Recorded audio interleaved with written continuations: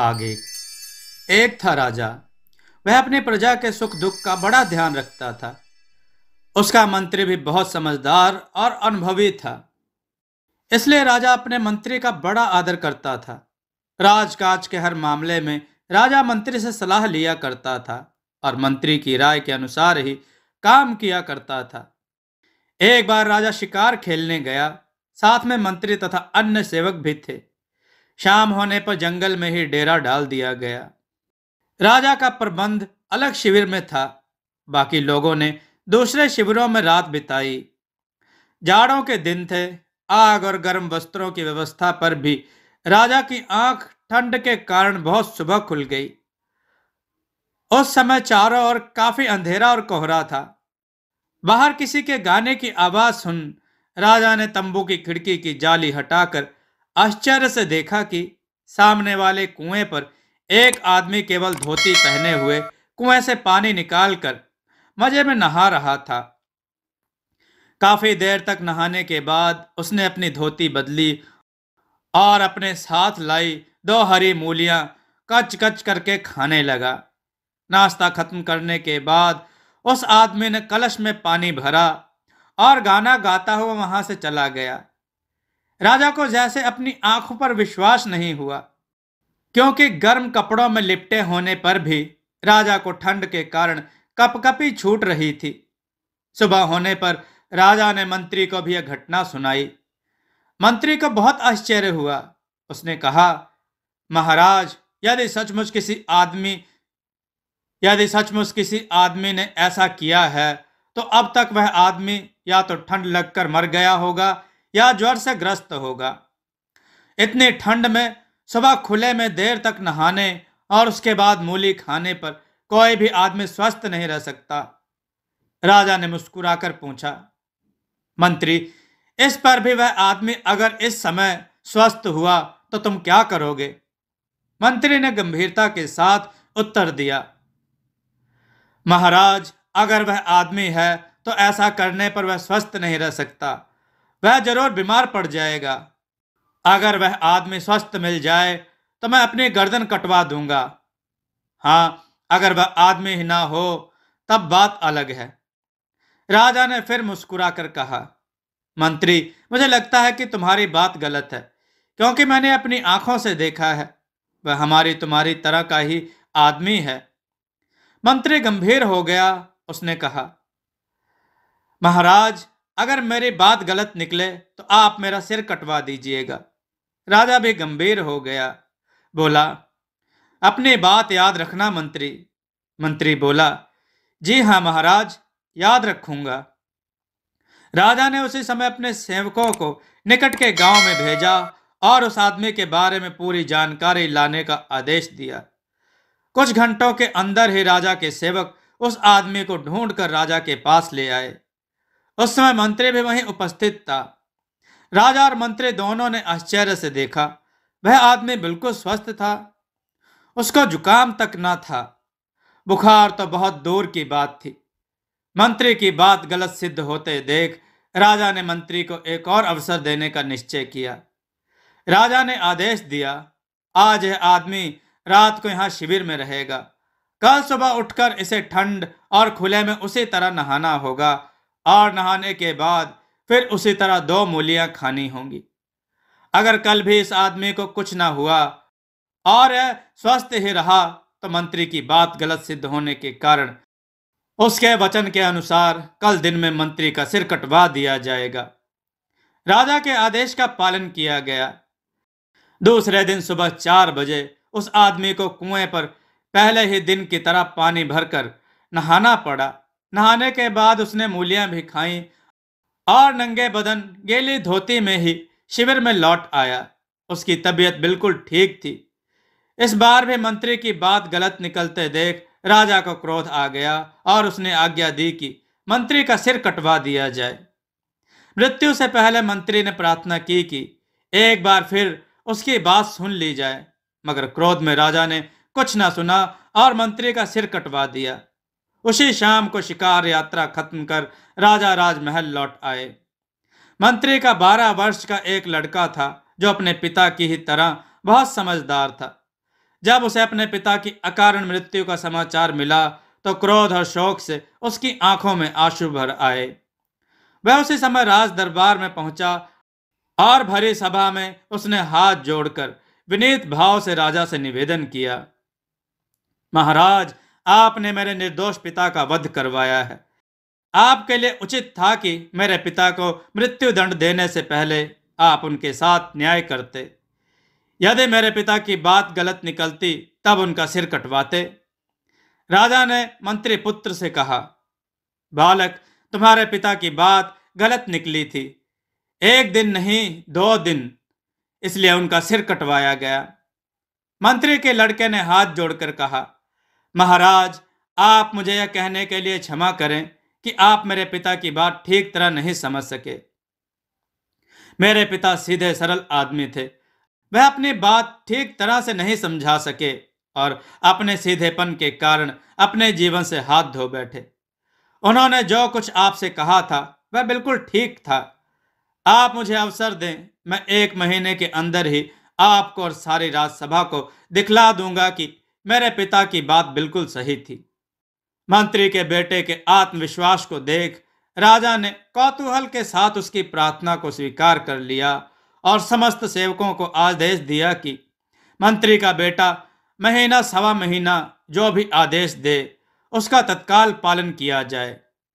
इस अवधि में मंत्री के बेटे की राजमहल में रहने की व्यवस्था भी हो गई। मित्रों, कथा में बने रहें बहुत ही रोचक कथा है।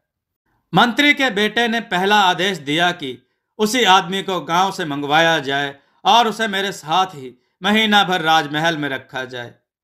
दूसरे ही दिन घुड़सवार गाँव से उस आदमी को ले आए।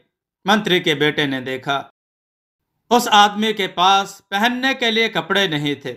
उसने तत्काल आज्ञा दी कि इस आदमी के लिए गर्म कपड़ों, जूतों, मोजों व दस्तानों का प्रबंध किया जाए। उसके कहने भर की देर थी। थोड़ी ही देर में सब चीज़ों का प्रबंध हो गया। यहाँ तक कि उसके सोने के लिए भी एक बढ़िया पलंग और नरम व गुदगुदे बिस्तर की व्यवस्था हो गई।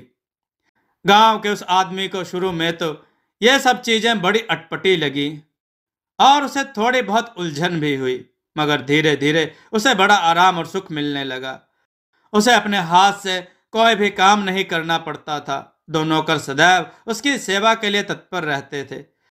वह भी धीरे धीरे उस राशि वैभव और उस राशि भोजन में आनंद पाने लगा। दिन भर अच्छे वस्त्र पहने, अच्छे भोजन करने और घूमने के अलावा उसे कुछ करना भी नहीं होता था। शाम को वह घूमने निकलता तो उसे जरा भी पैदल ना चलना पड़ता। शाही बग्घी में वह बाज़ार जाता और उसी में महल लौट आता महीने भर के अंदर ही वह राशि सुख सुविधाओं का आदि हो गया।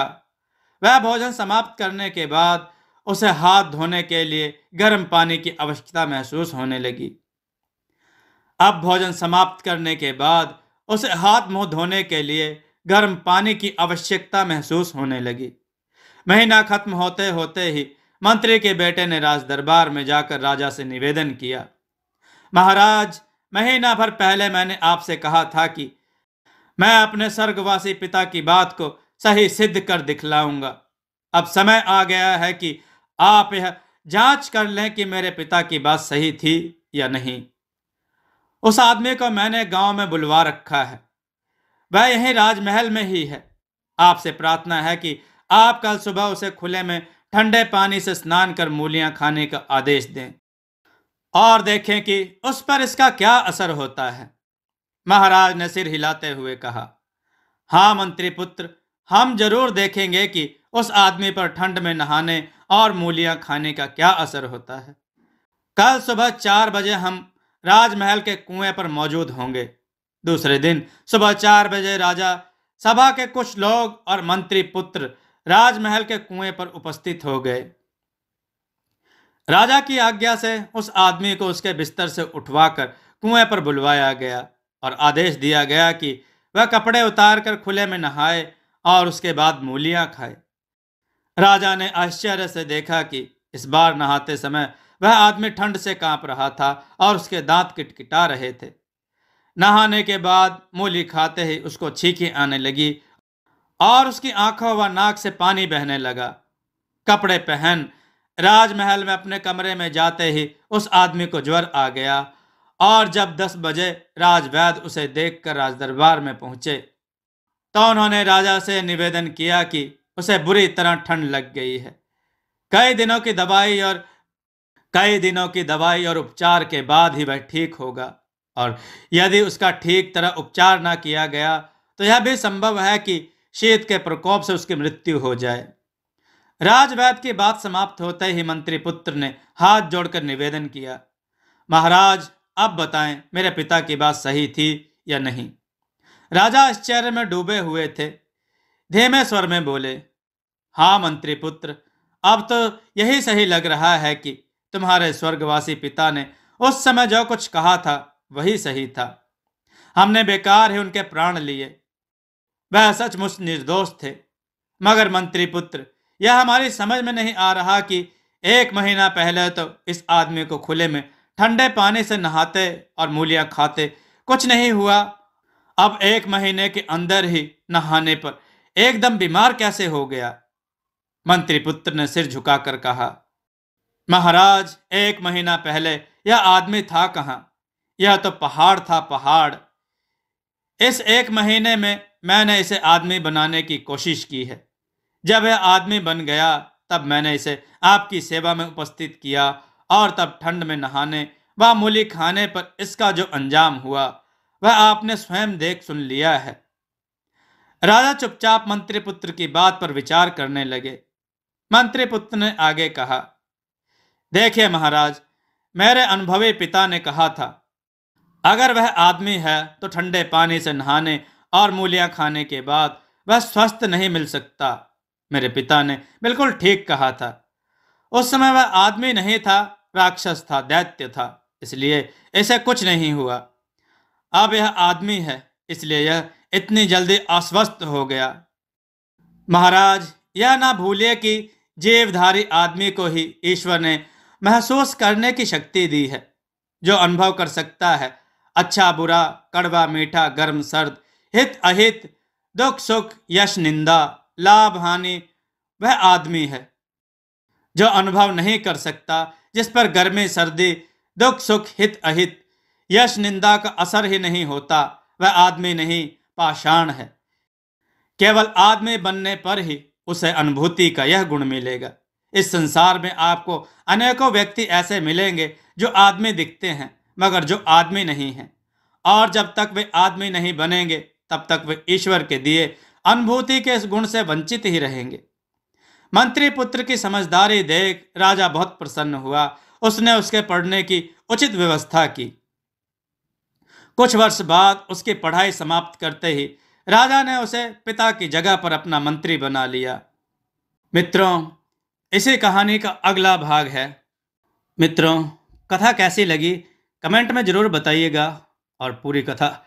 और अगला भाग सुनने के लिए कमेंट में लिखिएगा ज़रूर। देववाणी चैनल को सब्सक्राइब करके रखिएगा।